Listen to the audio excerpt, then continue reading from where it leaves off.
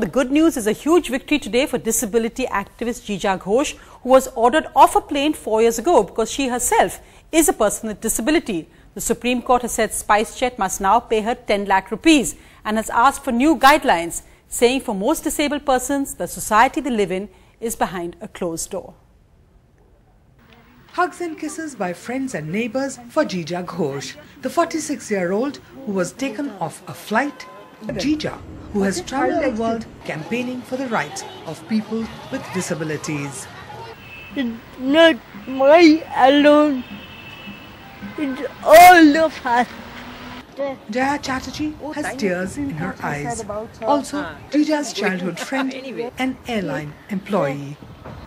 It's a joy. yeah, not good. It's a joy. Jeeja is proud.